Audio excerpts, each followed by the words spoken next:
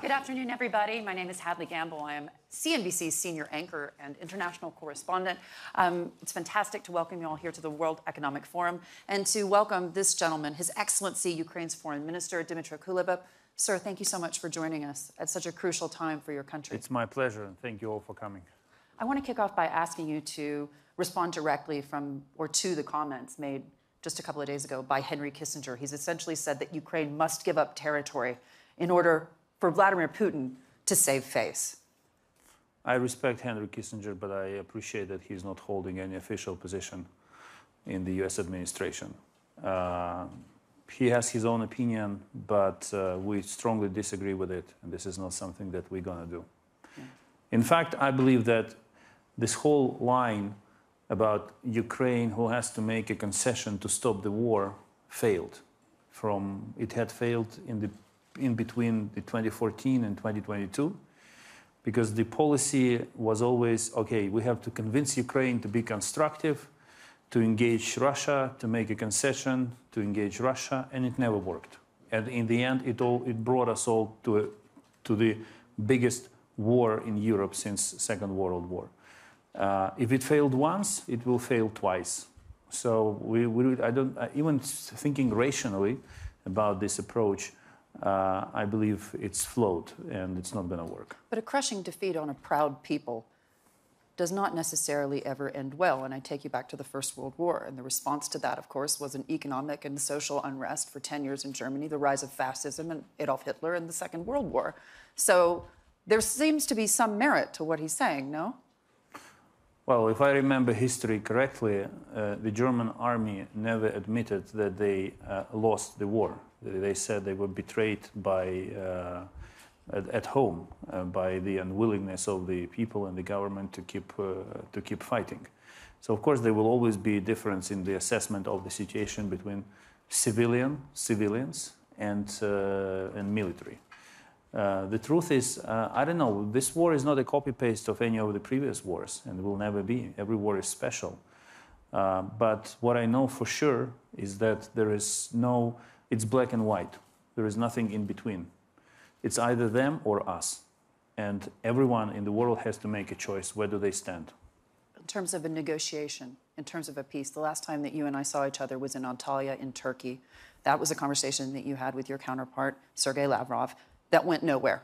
Where are we today with the possibility of a negotiated peace? Nowhere.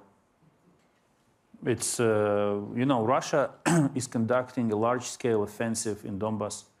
And this is the real, you know, you can recall any movie about World War II, and you can easily imagine what kind of battle is taking place now in Donbass. Tanks, artillery, combat helicopters, air attacks, multiple launch rocket systems, everything is involved.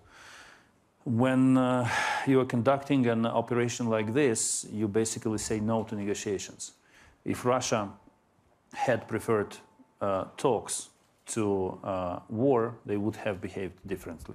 Yeah. Walk us through what you believe you need to win this war.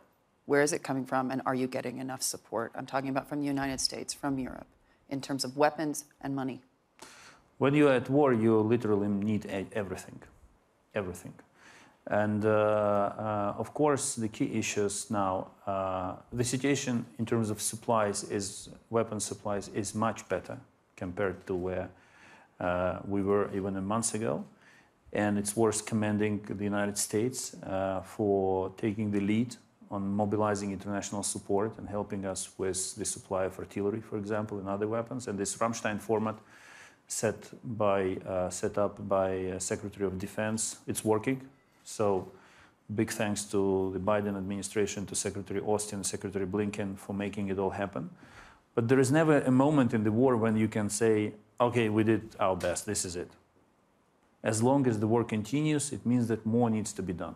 So now we are facing a, a big issue with multiple, with the lack, critical lack of multiple launch rocket systems. Uh, Russia has plenty of them, and they cover squares of our territory with fire, killing and destroying uh, everything. So we need these weapons as soon as possible. We are desperately waiting for them to arrive. Uh, on the financial front, uh, our economy is suffering more from uh, the Russian uh, destruction and Russian attacks then Russian economy suffers from sanctions. Yeah. I'm not trying to say the sanctions are useless, but as long as Russia makes money on selling oil and gas, their pockets are pretty full. So we also need macro financial assistance to help the country running, to keep the country afloat. And uh, the third, the third element is actually again sanctions, uh, as I mentioned. Um, Russia feels pretty comfortable with current oil and gas prices, and uh, we have to seriously reconsider the sanctions policy. Do you They- believe you're making any progress on that in terms of your European counterparts? Hungary obviously being the major holdout when it comes to sanctioning Russian oil for now. There is there, there are um, you know there are two ways to approach sanctions. The first one is to say, okay, we will focus on oil and uh, seek ways how to uh, stop the purchase of uh, Russian oil. There is another way. You can do a more in-depth analysis and come to a conclusion, for example, that the vast majority of Russian oil sold uh, to the global market is carried by, by maritime uh, means, so by vessels. So if you sanctions, uh, if you tell shipping industry that everyone carrying Russian oil anywhere in the world will face problems, that will mean a big, uh, a big issue for. So you believe they should Putin. sanction the shipping industry? My, my message m- now, my mess- I was very constructive and engaging, and always uh, trying to understand concerns of partners when it came to sanctions. But now, after three months of fighting, my message is very simple: kill Russian exports.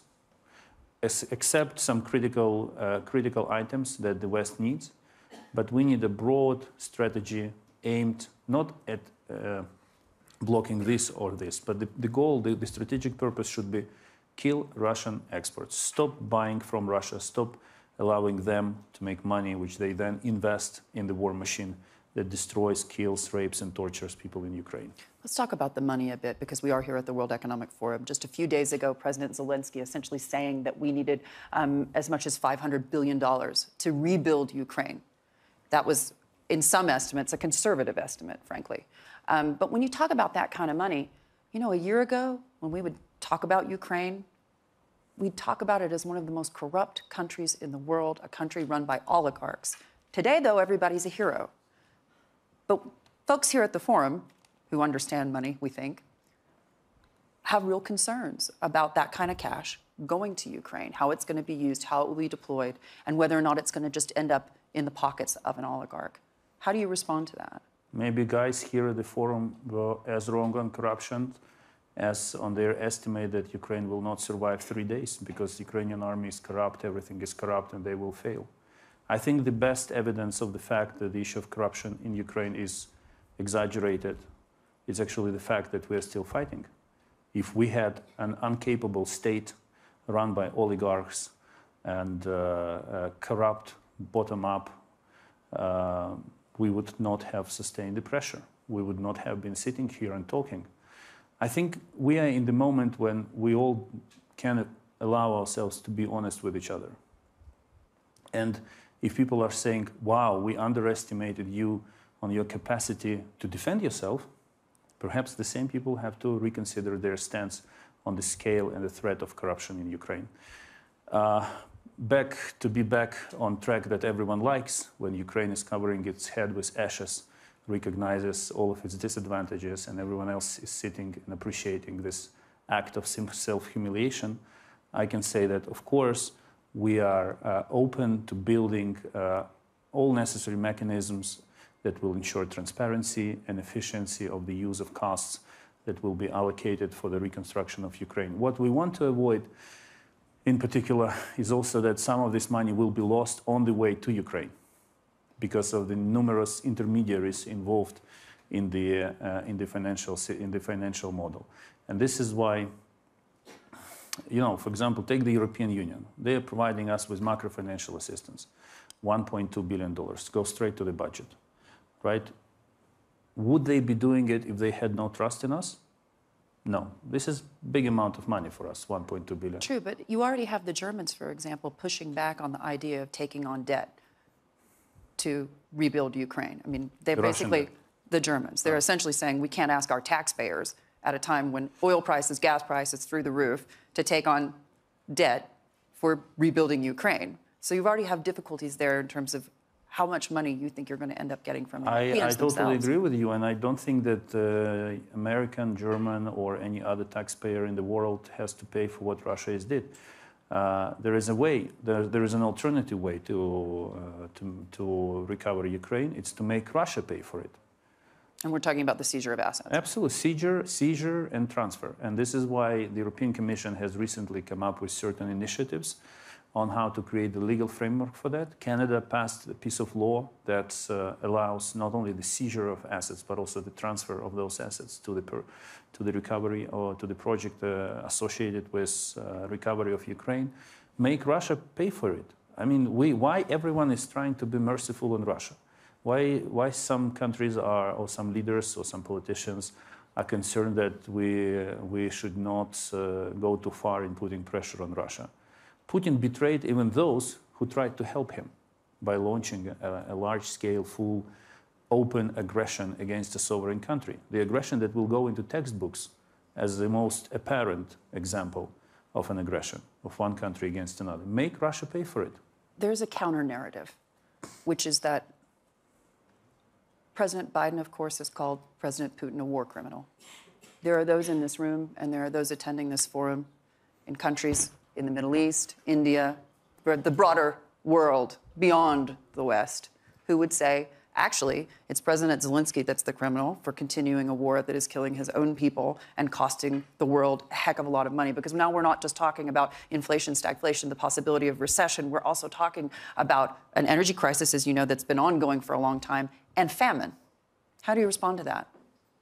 One has to be a political pervert to put blame on Ukraine for continue fighting against the country that attacked it, against uh, uh, the army that committed unspeakable atrocities in Ukraine, and against uh, the country that basically challenged the entire rule-based uh, order. What we're having now is the permanent member of the United of the, of the United Nations Security Council, who possess uh, who possesses the nuclear weapons, attacked another founding member of the United Nations, a sovereign country, for no good reason, and uh, is uh, trying to destroy it, denying the right of this country to exist.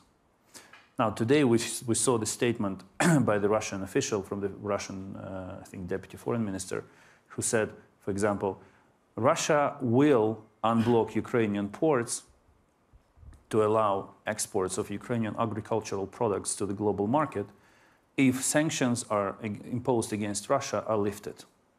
So this is a clear blackmail. You could not find a better example of, of a blackmail uh, in international relations. If anyone is buying it, I think there is a problem with that person. Uh, and uh, we shouldn't waste too much of time trying to to, change, to to understand why that person is making that point. I understand what you say, but does the whole world have to pay for the fact that Ukraine refuses to give up territory to Vladimir Putin by famine, by higher energy costs?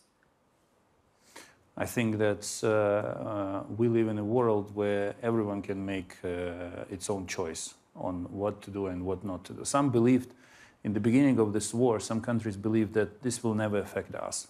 This is just Russia uh, and Ukraine, this is their affair. Now, some of these countries are already feeling the pressure of the food crisis, and they feel the repercussions of this war on them. And this is only the beginning. And if we allow President Putin to continue his military madness, uh, the crisis will go deeper and deeper. Because let, let me just explain one thing where we're heading to if Russia does not lift its blockade. So, if we do not export our crops currently stored uh, in the territory of Ukraine, we will soon harvest another crop. We will bring it and put it next to the current storages, which are full. And while there will be a food crisis unfolding in some parts of the world, Ukrainian grain will be getting rotten under open skies. Now, if this problem is not resolved, Ukrainian farmers will not plant another crop. And, we will and the whole agricultural cycle in Ukraine will be interrupted. and that will mean a multi-year food crisis. Now, if, if anyone tries to say that it's Ukraine to blame for fighting for each other, it's the same thing as you see a criminal and a victim who is fighting for survival, and you blame the victim for uh, fighting too much. There's just been a report in the press that uh, Vladimir Putin has decided to lift the retirement age of the military, essentially say that he can keep more people in the military for longer. In terms of what's happening back at home, how would you assess the strength of Russia's military capabilities today? Because they're undoubtedly lethal. They, uh, they're extremely strong when it comes to ground uh, heavy weapons. Uh, artillery, military, uh, multi-launch, multiple launch rocket systems, uh, all kinds of radio jamming tanks, but not because they are more advanced than other similar weapons in the world, but because they have a certain quantity of them that they can throw on us one wave after another. Uh, their morale, uh, the morale of the Russian soldiers is very low. They don't understand what they're fighting for. Uh, but uh, if you take, if you imagine like a trench with Ukrainian soldiers who who hold the ground, one attack after another. But on the other side, there are commanders who send more and more soldiers and tanks and artillery and helicopters into the battle. You cannot win if you do not get sufficient amount of heavy weapons to oppose them. One day or sooner or later, they will break the line. And this is, this is, this is the risk. And do you see President Putin, like Stalin before him, willing to use his own people as cannon fodder? This is the difference between us and them. We care for human life, and he doesn't. This is, I think, it's one of the conceptual differences between Ukrainians and, and Ukrainians and uh, Ukrainian and Russian systems. That uh, for him, human life is nothing, whether be it Russian soldier or Ukrainian civilian, uh, not to mention Ukrainian soldiers, of course. And that's why in Donbass now, the, he, for example, we hold the position Uh, our soldiers repel attack, kill thousands of Russian soldiers. There is another wave coming. They kill them, and instead of changing the And tactics, on on. Rus- instead of changing the tactics, Russian commanders order more and more of their soldiers to go into the battle. What about the loss, eventually, of public support? When Ukraine is not necessarily on front page news anymore, it's not leading the news in the evenings or in the daytimes, it's not on Instagram, it's not on Twitter. You've been very, very active on social media, and that's all, no doubt helped your cause. But when you think about what happens next, look at Syria. Um, I understand that we all live in a big TV show, and the situation, to a large extent, depends on what people see on, on television and uh, on their social media. Uh, the difference between uh, such people who are, it's hard to blame them, and us is that they can afford getting bored, and we can't. So even if the entire world changes, refocuses its attention to another catastrophe or another war or something, we will have to continue fighting, whatever it costs, whatever it, uh, uh, the cost will be, because this is the war for our existence as a nation, for our identity. And that's why, you know, there is no gray zone in this war. It's either black or white. Uh, it's, it's black on, or white, and we are the white ones. Donor fatigue. Are you already experiencing that to a sense when you speak to European counterparts in the US? Um, not really, not really. Uh, I, don't, I don't see the fatigue, but uh, some decisions take too much time uh, to make. And we are talking about Brussels, I imagine.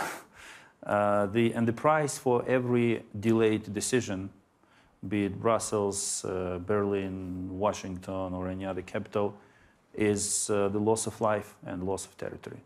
So, what seems to be just a decision making process for some is real blood, tears, and sufferings for us. It's, it's, I must tell you that we saw since, since 24th of February, we saw some uh, revolutionary decisions made in Washington. Uh, and I remember calling Secretary Blinken one day, and he said, "Dmytro, half of my day is signing is about signing different papers related to supplying weapons to you." And I will always remember what he did and what he keeps doing. I really appreciate that.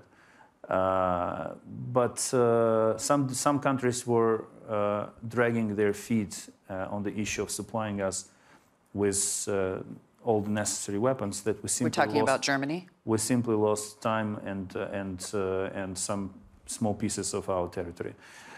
Allow me to be a diplomat, to remain a diplomat at least here. But, but I, I, can make you, I can tell you honestly that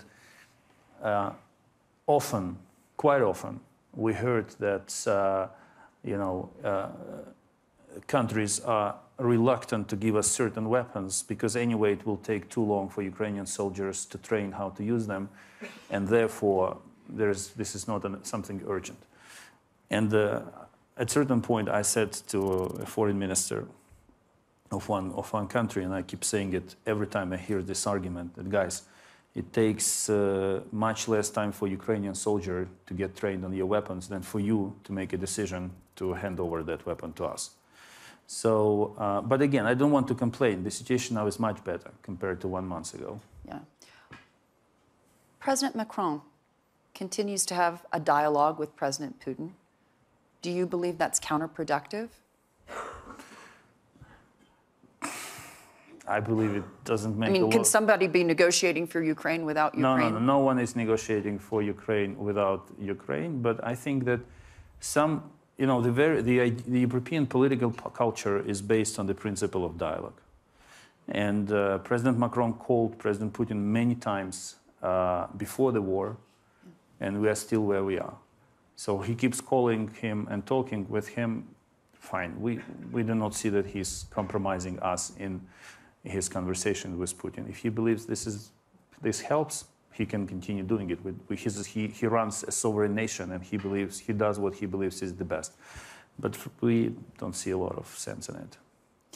What about NATO today? We're talking now about Finland and about Sweden becoming a part of NATO. And President Putin again and again warned that if they were to take that decision, there would be problems, there would be repercussions. Now, Turkey's a holdout at this point, but I'm told that that's only a matter of time before they decide that Finland and Sweden can be a part of NATO. What's your take on that? Because when we first met at the end of last year, we talked about Ukraine's ambitions for NATO and for Europe. And you said if we were a part of NATO right now, we wouldn't even be having this conversation. Thank you for uh, memorizing my words. that's, that's really nice of you. And yes, I can say it again. Uh, I believe that uh, Sweden and Finland understand now understand Ukraine much better, even better than they did, because they feel now they know now how it feels when you are trying to get into to join the club, and a member of that club is like saying, "Ah, I have questions." I have issues about that. Uh, but seriously, uh, I don't think Putin has any serious leverage to prevent uh, Finland or Sweden from becoming members of NATO. And that once again proves that the whole discourse about Ukraine not being ready to get Ukraine on board or uh, NATO uh, not being ready is not based on, uh, on specific merits. It's based on the political understanding of who belongs with us and who doesn't. NATO is about to absorb a country that has, uh, like, what, around about one, many hundreds kilometers of joint border with Russia, right next to St. Petersburg. And no one is taking care of all the arguments that Putin is making about the speed of the missile, and the vicinity of the NATO military base to the capital, to the capital of Russia. When it comes to Ukraine, the moment you raise the issue, you immediately hear hundreds of arguments why this is impossible. Hundreds. Yes. People were saying our army is not ready. Look at our army. It's the strongest. It's now the strongest army in Europe. I mean, among the uh, among the European nations, we do not compete with the Americans uh, for obvious reasons. Uh, NATO standards we are fighting a war against someone who is much bigger than us. And uh, knock on the wood, we are more successful than anyone expected. So all these technical discussions about standards, criteria, you know, once there is a political decision that these guys belong to us, we are part of the same, everything else follows. Yeah. As long as there is no such political decision, you are hearing hundreds of arguments why this is impossible. We understand how this business works, but uh, I believe that many uh, in NATO lost moral and professional ground to make any comments with regard to Ukraine. Do you believe that you will ever be part of NATO? Uh, now I'm focused on something completely different. Uh, you know, we are now focused on winning the war, and um, you know, my, my people criticize me for saying that uh, uh, NATO did nothing uh, since the beginning of the war. And my experts, my NATO experts, they, they say I have to be more constructive. But I am constructive. My point is very simple. We see allies helping Ukraine out. We see group of allies, NATO allies, helping us. But in the beginning of the war, the people of Ukraine, it was a public sentiment. They believed that NATO is the strong force and EU is only capable of expressing different various levels of concern, and that's it. But the war is always a test that rips masks off. And we all saw real faces. What we saw are some revolutionary, groundbreaking decisions taken by the European Union, which even they themselves did not expect to, to make. And we see NATO as an alliance, as an institution, sidelined and doing literally nothing, I'm sorry to say it. I do not complain on allies. Do you yes. see them as irrelevant? No, I think it's, I think it's actually the decision of the allies themselves. To not, remain. Not to, to do it, not, not to allow uh, NATO as an institution to act under these circumstances. Because for their, for their concerns, which they have, like NATO, Russia at war, all this stuff, but again, when it comes to accommodating Finland and Sweden, no one is making the point that uh, this increases the risk of NATO and Russia coming at war with each other. So there is a little, an element of hypocrisy in this. I understand that this is life. Uh, uh, we as a country, you know, we spent 30 years fighting prejudices and stereotypes uh, in attitudes towards Ukraine, so I can live with it. Don't get me wrong, I, I think NATO is important. Uh, the integration of Ukraine to NATO is part of our constitution. Jens Stoltenberg, as Secretary General, is a, is a man who really does his best. But we see that these circumstances are not the good ones for, for NATO to show its best. And therefore, we can speak openly about the status quo. I want to ask you about oil and the OPEC Plus group. Do you believe that they have made the right decision to continue to include Russia as part of that alliance? In the first two months of the war, I became an expert in uh, weapons. And I spent the last months of the war uh, becoming an expert in oil and global oil market. So, so you can rival me. Excellent. Uh, no, no. I think, I think you're still far ahead of me, but at least I know that if I get fired, I will find myself a job, uh, either selling weapons or or uh, doing uh, oil, helping with oil business.